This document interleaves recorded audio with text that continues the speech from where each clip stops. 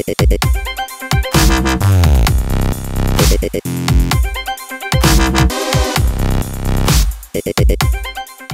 guys, what's up? It's Dave, the open source gangster here. So have you ever wanted to use your Android device as a mobile gamepad? Well you can thanks to an app developed by XDA forum member Bluenex.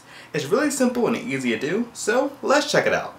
Alright guys, so the first thing we need to do is download the server-side application to run on your PC. Now this is going to communicate with the app on your phone so that it knows what buttons you're pressing and to key map it correctly. So I'll provide a link in the description to the developer server-side app, but pretty much it, you can download it and extract it in a normal zip and install it like any other application. After you install it, let's open it up. So once you open up, it's going to listen onto a default IP address. Now for me, I have it set to 192.168.0.101. Over here in the settings, you can change it. By default, it's on .192.168.556.1. That did not work for me, so I changed it to .101 because I know that's uh, the IP address of my PC, and I kept the port number the same. Now over here in games, what we can do is we can add games. So, so far I add Titanfall and PlanetSide 2.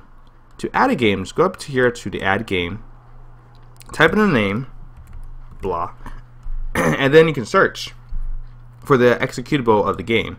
So in the case of Titanfall, I went to Origin Games, Titanfall, and then chose the executable right there. And then what's nice is that within the app, you can do a quick launch of the game, which is also really cool. Over here is your key mapping. Now, by default, I'm going to keep this the same. Uh, you can try to change this to whatever key mapping you want. Just know that not all key mapping works. I ran into an issue with the whole WSAD standard key mapping, so I kept it to up, down, left, right. And in gameplay, you'll see how that works. So once you have all of this set up to your liking, now you can go and download the mobile app. Alright guys, so now what we're going to do is go to the Google Play Store and download the app Mobile Gamepad Beta. It's available free within Google Play Store. So after you download it, let's open it up. So it's going to ask for the server IP. So input the server IP address that the server application gave you. Okay, so make sure you enter the server IP address provided to you by the application along the port address. In this case, my port address being uh, 12,400. Once that's all good, hit connect. If all goes well, you just see this interface, which means that you are connected. So we have the D-pad controls over here and the standard uh, X uh, square circle triangle controls. Down here, we can quick launch the games that we listed in the server application. And in addition up here, we go to settings and we adjust the vibration and auto and uh, audio buttons using them. And over here is uh, we can map these two keys as far as escape and um, enter as well. So now let's actually try gameplay with this. Alright, so right now I am inside the game Titanfall. Now before we start using the gamepad controller, what you want to do is go into the, your key map settings in whatever game you're on. So once again, in this case being Titanfall. I'm going to go to key bindings. And then at the bottom for the WASD controls, which is normally uh, forward, back, left, and right, I want to make sure that I key map these controls to the up arrow, down arrow, left arrow, right arrow.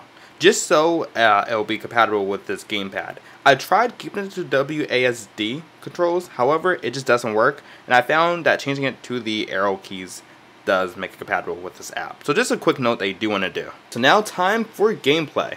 So as you see, right now I am using the controller, and I am moving the character around.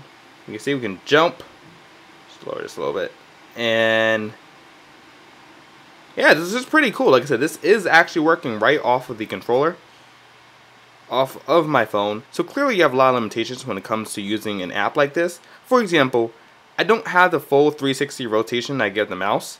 However, there is a feature which I can use the sensor. I'll turn both these on, which I can use the uh, gyroscope sensor and actually turn my phone, see if this works. Alright, so if I go hold it backwards, I start moving backwards, and if I go forward, tilt forward, I start walking forward. Uh, a little hard to do the forward, but backwards works pretty well. Alright, so pretty much this is the app. This allows you to, like I said, use your phone as a gamepad controller. It's pretty neat. I highly suggest that you check it out because it's really cool and easy to set up. And I imagine that this should work with most games. So a few final things that I want to point out is number one, while using this app, my battery drain has been crazy. It went down 7% within 18 minutes, I believe. In addition, on my computer, the actual app, the CPU usage the app was using was fairly high, 15%. Now, that was while I was actively connected and using it. Once I disconnected it, went down. But nonetheless, that's probably some optimization which needs to be done. But it is still a great app and I highly encourage you to download it, check it out, thank developer, and just have fun with it because it's a really cool thing to do. So as always, thanks for watching and stay tuned for another galvanizing video. Thanks.